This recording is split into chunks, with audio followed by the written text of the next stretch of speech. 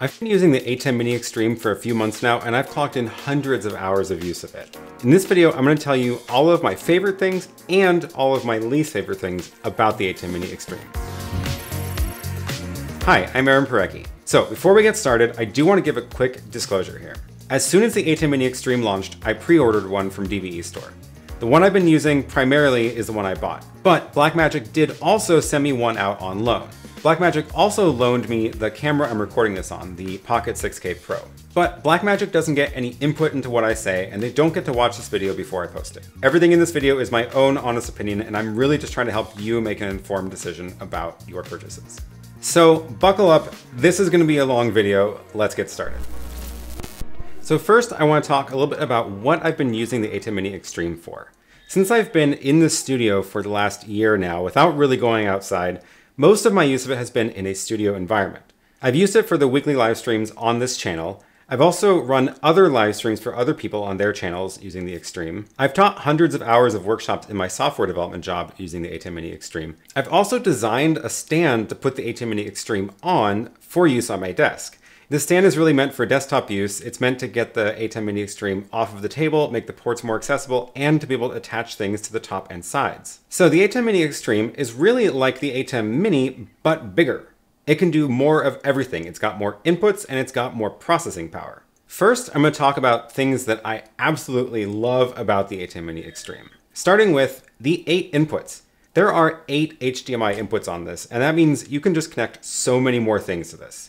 The original ATEM Mini had four inputs, which is great, but I found myself filling those up pretty quick, especially once I started adding graphics into the show. With eight inputs, I don't really feel constrained anymore. I feel like I have enough inputs to run whatever I need to for a show. And it means that if you are doing key fill graphics so that you can do graphics with proper transparency, that takes up two of your inputs.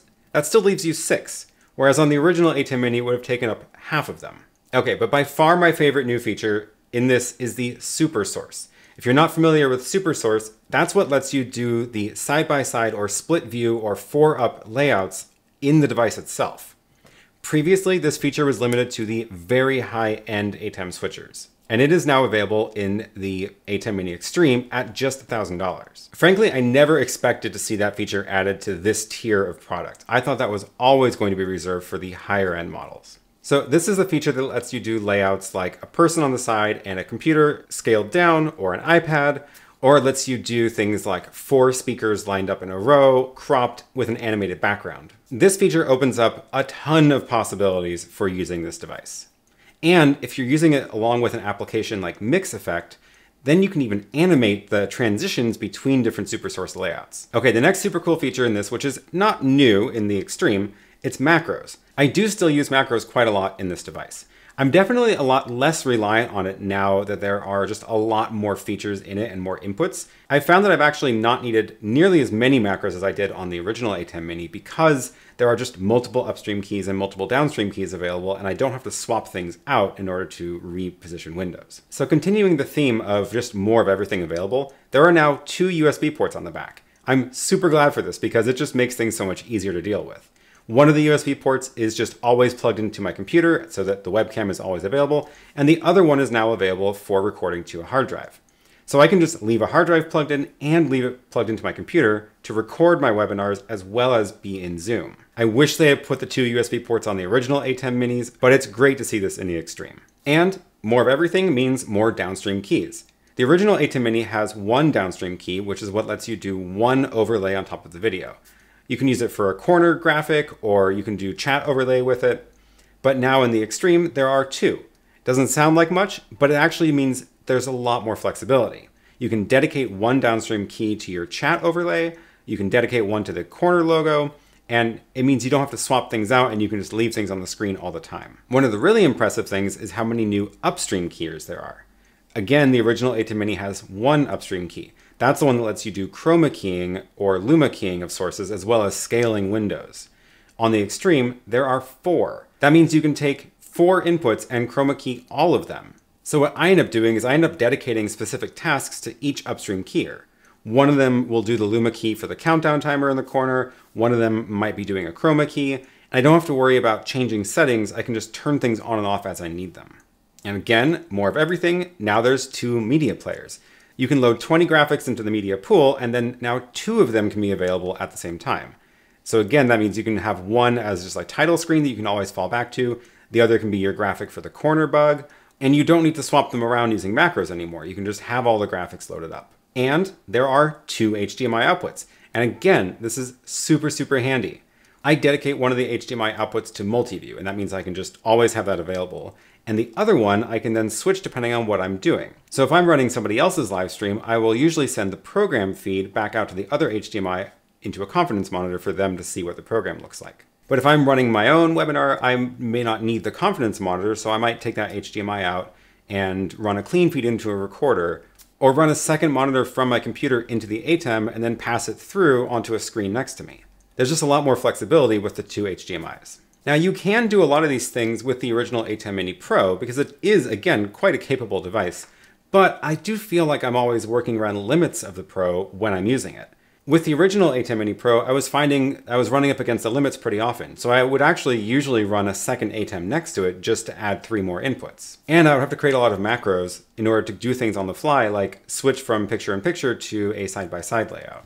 The ATEM Mini Extreme does so much now, and it just does it without me thinking about it, I often take it for granted. The other day, I just found myself being like, oh yeah, this thing does a lot, and I kind of don't fight it anymore. It's just there, and it just works really well. So these are the things that I really like about it and why it has a permanent home on my desk. But I do want to talk a little bit about things that I'm not as much of a fan of, starting with features I just don't use. Now again, as I'm describing these things, keep in mind my use case is primarily using it in this studio in a fixed position. And the vast majority of my use is filming myself either in live streams or webinars. So as I describe these features I don't use, it's not that they're bad, it's just that I don't have a use for them in my use case. So the first in this list is the Blackmagic camera control. Now I do have a Blackmagic Pocket 4K camera, and it's what I usually use for filming myself at this table. However, because I'm in a fixed position and I have control over the lighting in the studio, I never need to change the settings. I set all the settings in the camera manually and I just leave it. I don't need the camera control from the ATEM because I don't need to make adjustments on the fly. Now again, that's just my use case here. If I were using this remotely, of course that would be a very useful feature. I just don't find myself using it at all. Let's talk about the buttons. There are a lot of buttons on this thing, like a lot, a lot. And again, I don't use the vast majority of them. In fact, I use only a few buttons. The buttons I do use are the camera control buttons, as well as the media player and the super source, because that's a quick way to switch between camera angles. I do find myself using the streaming on off button, as well as the record on off. And I actually really like the HDMI output selection buttons. That way I can quickly go from the multi-view to previewing one source full screen. If those were the only buttons on the device, I would actually be totally happy. Most of the time, I'm actually controlling the device over the network using Stream Deck and Companion, because that lets me do a lot more things that there aren't buttons for. Whether that's running macros or loading in specific graphics into the media players or doing carefully timed things like switching cameras and switching audio sources in sync. There's a limit to what you can do with the buttons, even though there's just so many of them. Some of the buttons that I've literally never touched, the camera control buttons, 100%. I, again, just don't really have a reason to control the cameras remotely. I also never touch the top row source select buttons. I do all of that kind of control through the macros. Also, the transition buttons. Just like on the original ATEM Mini, I don't change these settings. Certainly not enough to justify a button for them. There are some buttons that I actually would like to see that don't exist though. And that's actually giving me full control over each of the upstream and downstream keys. There's the key on off button, but it's only for one of the downstream keys. And for the same with the upstream key. I actually would like on-off buttons for all four upstream keys and both downstream keys. That could actually be really useful. So anyway, this is one of the reasons that I've always said that buttons should be reprogrammable because people have different use cases and you probably have different use cases of different buttons that you want to press compared to me. Okay, the last feature that I don't really use, even though I think it's a really cool feature, is the USB tethering. And that's because I don't take this anywhere. It's connected over ethernet on my desk. I don't need to tether a phone even though that is a super, super cool feature. But that kind of actually leads me to the next point, which is the size. I don't think this is mini anymore. I think we've broken past the point of this being called the mini. This is a large device. It's almost a full rack size, and it's larger than a 16 inch laptop. Uh, it's actually too wide to fit in a 16 inch laptop case.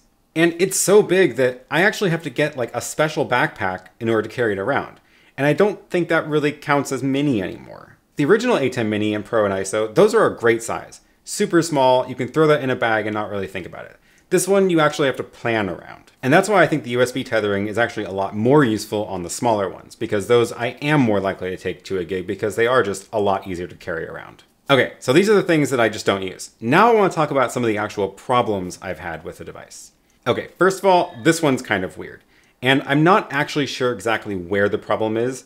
The way I use mine is I've actually got most of my sources connected over SDI. And I've got a bunch of Blackmagic SDI to HDMI converters and I can switch which SDI sources are connected to each input electronically. And that lets me do things like rewire my studio virtually or remotely. And it's super handy to be able to do that. Today I can say input 5 is my overhead camera and then I can just press a button and now it's suddenly a second computer monitor. That's super cool that it does that.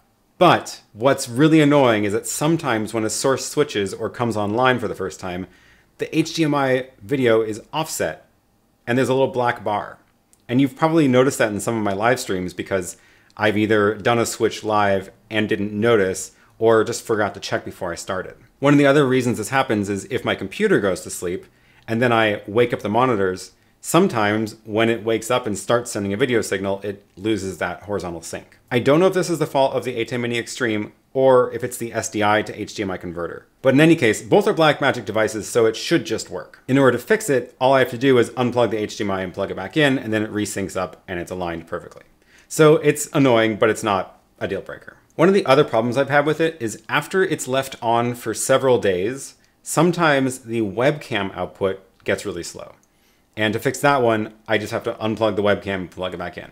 Worst case, reboot the whole device, but usually just unplugging the USB fixes it. I'm usually using this with my M1 Mac Mini, so maybe it's a compatibility issue with that in particular. I'm not totally sure, but that is a problem I've had with it. One of the other problems, which I know a lot of people are complaining about, and I don't actually mind it that much, but the USB output colors are definitely more contrasty than the HDMI colors.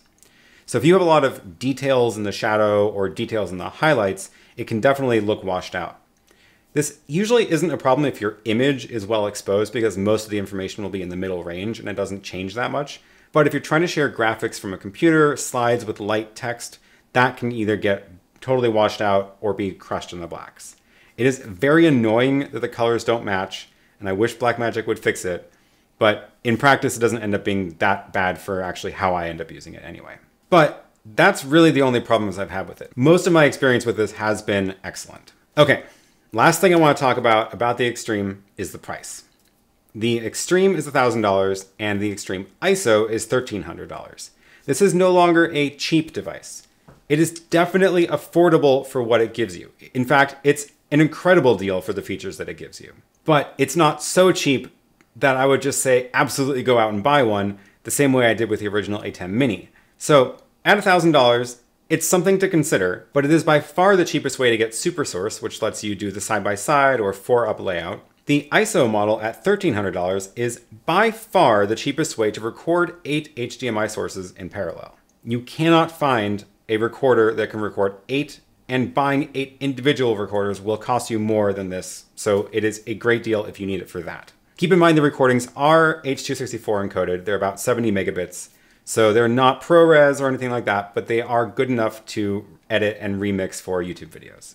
So for what this can do, it is an incredibly good price. And if you have even the slightest thought that you want the ISO recording feature, definitely do save up the extra $300 and spend it on the ISO model because there is no way to get that feature any cheaper anywhere else.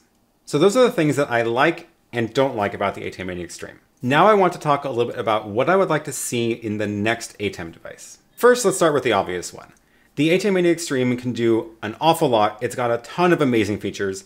We don't really need the buttons, so let's put it into a rack mount and shove it in a rack case. I don't even think we need the row of buttons on the front like the TV studio. I know plenty of people who have the Extreme and they tuck it in a case and never touch it, only controlling it over the network. That would also be perfect for remote studio workflows, where you just have that tucked away in the remote studio and you do all of your control remotely.